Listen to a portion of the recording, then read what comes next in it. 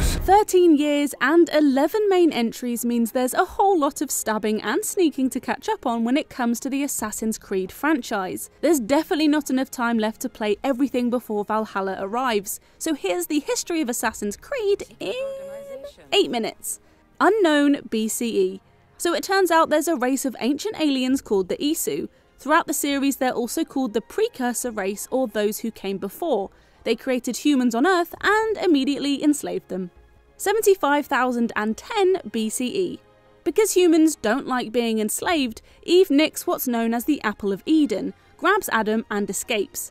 Apples of Eden are going to come up a lot. They're a type of what's known as pieces of Eden, ancient tech artifacts created by the Isu to control humanity and do generally powerful things. 75,000 BCE. A solar flare strikes Earth, wiping out the Isu and most of the humans, but some humans survive and manage to build a new world anyway. Go humans. 465 BCE. The first known use of the hidden blade is when the assassin Darius stabs King Xerxes of Persia. Xerxes was one of the Proto Templars, the Order of the Ancients, and Darius is the father in law of Kassandra and ancestor of Origins' Aya. Yet for all their power, they couldn't protect you.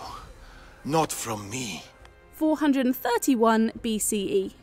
In Assassin's Creed Odyssey, Misthios Kassandra kicks a lot of Spartans across ancient Greece and stabs people with a piece of Isu tech called the Broken Spear of Leonidas. While sailing the Greek seas with those great biceps, she nabs Pythagoras' staff, which has an Isu called Aletheia inside it. 49 BCE. A bit later on, Bayek and Aya murder their way through ancient Egypt as they take revenge for the murder of their son by a member of the Order of the Ancients. They form the Assassin's Brotherhood as they decide to take on the darkness in the world and even get a logo. 1176. Altair ibn La Ahad rediscovers the tenets of the Creed after a botched mission to steal an Apple of Eden, and makes his way through a to do list of Templars that even includes his own traitorous master. He gets his own Apple of Eden and dedicates his life to finding out more about it. 1459 to 1524. This Ezio Auditore di Firenze chap rocks up, becomes an assassin to avenge the death of his family, befriends Leonardo da Vinci, beats up the Pope, finds out about an impending end of the world, kills Templars, and then heads to Constantinople to find the keys to Altair's library, where he speaks to Desmond in the future to tell him about the end of the world. 1715. A few hundred years later, pirate Edward Kenway pretends to be an assassin after he kills one, discovers a mysterious observatory powered by crystal skulls and vials of blood, and is opened by an Isu human descendant called the Sage. He saves the day, is pardoned for his piracy, and sails home to England. Oh, and yeah, he has a son called Haytham. More on him in a bit. 1756 to 1763. Not long after, an assassin called Shay Cormac becomes a Templar when he picks up an Isu artifact and accidentally sets off an earthquake that kills loads of people, so he blames the assassins. He kills Edward Kenway's fellow assassin Adewale and heads to Paris where he kills a French assassin called Charles Dorian. 1773. Edward's son Haytham turns out to be a Templar, travels to New York to gain access to an Isu temple, and while he can't get in, he ends up having a relationship and having a son. His son Ratonhnhaké:ton, or Connor Kenway, grows up hating his father and becomes an assassin to take revenge. Maybe you're sensing a theme? They don't kiss and make up, and Connor kills him. 1776 to 1794. That French assassin that Shay killed earlier, that's Arno Dorian's dad. Arno becomes an assassin to avenge his death and that of his adopted Templar dad. Don't, it's too complex. And teams up with other Templar Elise de la Serre to uncover corruption in Paris. Of course, he ends up having a showdown with a Templar Grand Master wielding what's known as the Sword of Eden. It explodes, Elise dies, and Arno is sad. 1868. Then, in Victorian London, Jacob and Evie Fry battle against Grandmaster Crawford Starrick by rescuing kids from workhouses and robbing trains. They get a rope launcher from Alexander Graham Bell, discover Edward Kenway had found a Shroud of Eden and not told anyone, and they end up fighting a Templar wearing it. Spoiler, they win. Dame Evie Fry. Sir Jacob Fry. Race you to the train. You're on.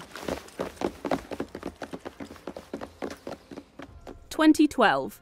In an even worse year than 2020, in 2012, Desmond Miles is abducted and forced to relive the memories of his ancestor Altair.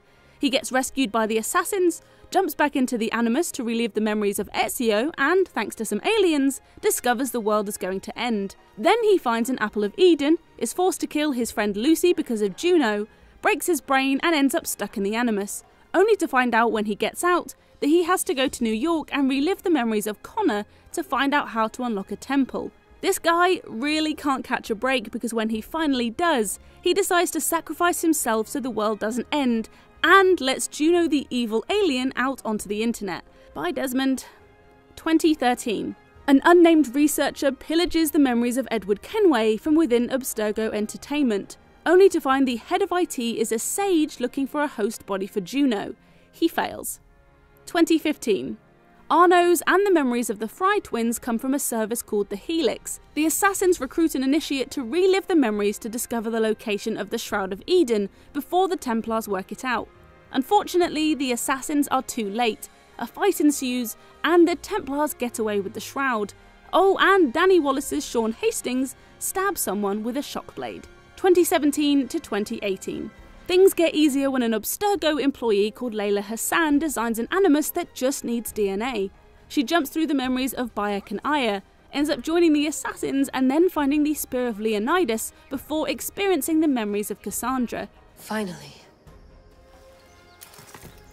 Kassandra arrives, hands her the staff, and tells her she's the heir of memories, whatever that means. Then Kassandra, well, dies.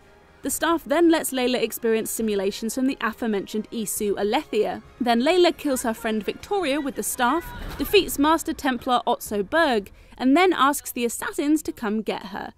Time for Valhalla. Sit tight, Layla. We're coming for you, but it might take time. What are you gonna do?